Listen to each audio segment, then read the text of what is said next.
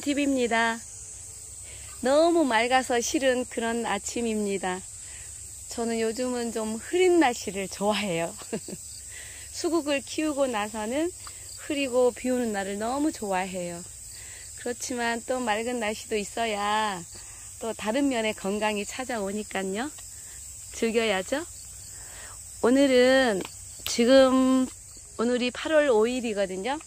이렇게 가지치기 했던 수국들이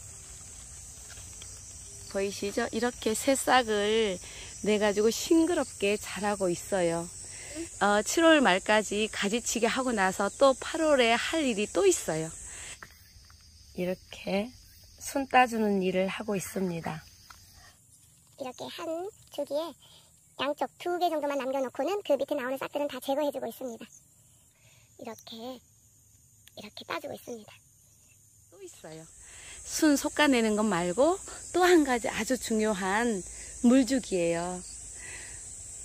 대부분 꽃이 없기 때문에 이제 물 주고 이런 것을 신경을 별로 안 쓰시는 분들이 계시는데 특히 노지에서나 떼약볕에 노출되어 있는 그런 수국은 정말 물 주기에, 물 주기에 신경을 쓰셔야 돼요. 왜냐하면 제가 화분에 심어 놓고 좀 소홀했던 그 화분이 이렇게나 많이 탔어요, 잎이. 내년에 꽃필 그런 꽃눈들이 말랐어요. 여기도 그렇고, 여기도, 여기도 그렇고. 이렇게 꽃눈이 말라버리면 내년에 꽃을 못 피우는 거. 여기도 보세요.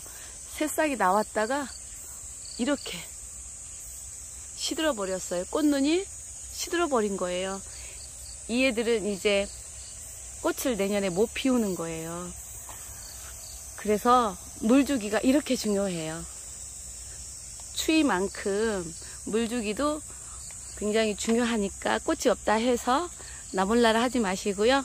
가지치기 한 뒤에는 물 주기를 더 신경 쓰셔야 돼요.